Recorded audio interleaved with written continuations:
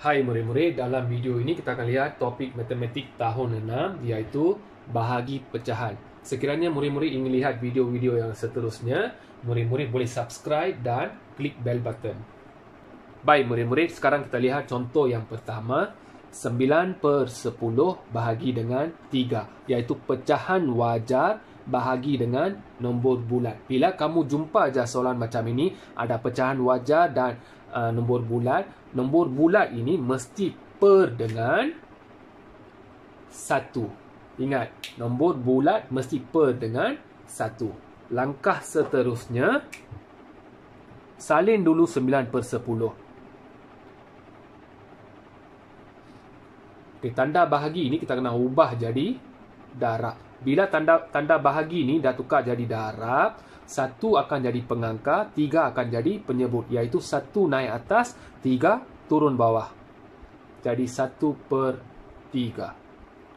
Okey, sekarang baru kita boleh selesaikan soalan ini. Iaitu sembilan kali satu dapat sembilan. Per dengan sepuluh kali tiga dapat tiga puluh.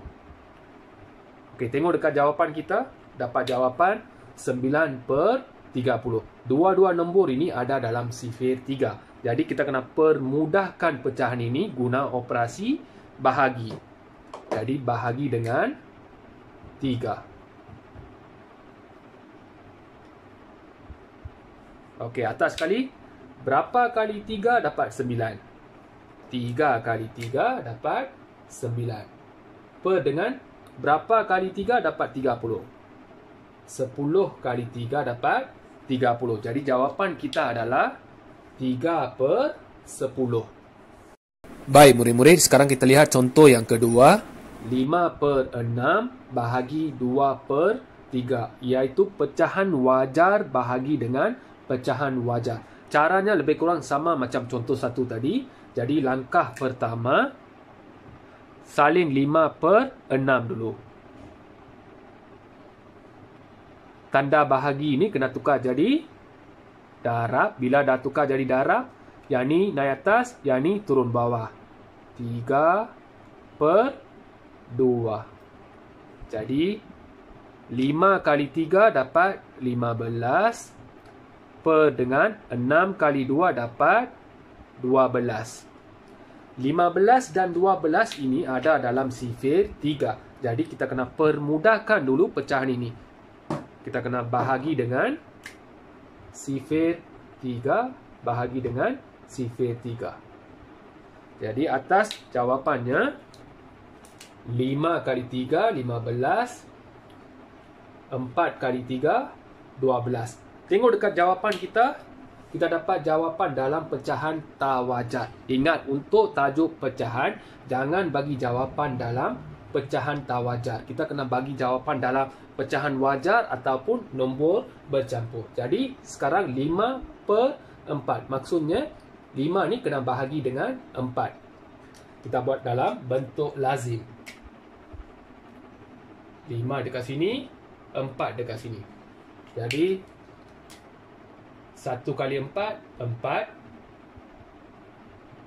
Tolak sama dengan lima tolak empat dapat satu.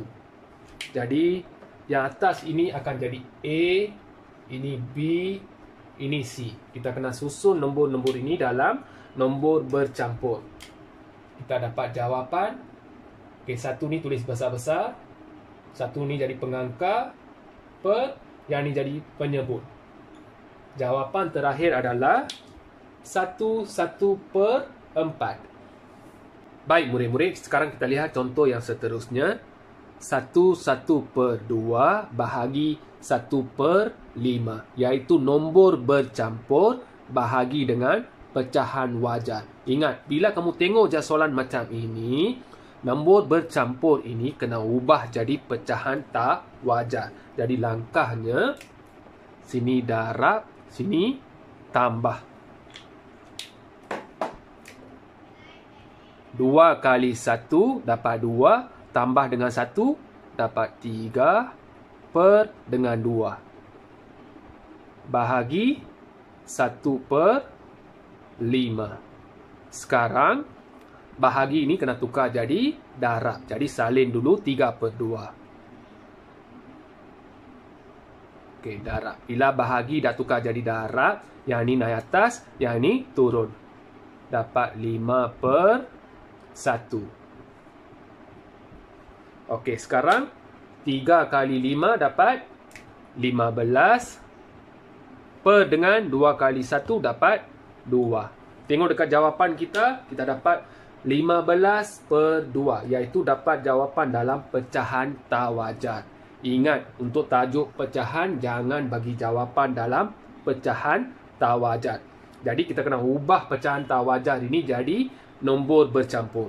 Jadi 15 kena bahagi dengan 2. Buat dalam bentuk lazim. Ingat ya, tanda per ini maksudnya bahagi. Sebab itu kita nak buat operasi bahagi dekat sini. Jadi kita kena tahu sifir 2. Berapa kali 2 dapat 15? Paling dekat pun 7 kali 2 dapat 14. Jadi jawapan dekat atas 7 kali 2 dapat 14. Kena tolak. Buat dua garis. 5 tolak 4 dapat 1. 1 tolak 1 dapat sifar. Langkah seterusnya. Yang ini A yang ini B, yang ini C. Kita kena susun dalam nombor bercampur. Tulis dulu A ni. A ni nombor 7. Jadi tulis besar-besar. 7. Lepas tu B adalah 1.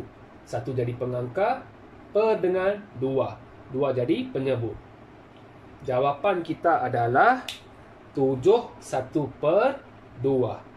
Baik murid-murid, ini adalah empat soalan untuk murid-murid. Murid-murid boleh jawab soalan ini berdasarkan apa yang kita belajar dalam video ini. Sekiranya murid-murid masih tak faham, murid-murid boleh ulang balik video ini. Saya harap murid-murid faham apa yang kita belajar dalam video ini. Sekiranya murid-murid faham, murid-murid boleh klik subscribe. Jangan lupa klik bell button. Kalau murid-murid suka video ini, boleh klik like. Kalau tak suka video ini, boleh klik dislike dan beri pendapat dekat ruangan komen. Sekian, terima kasih.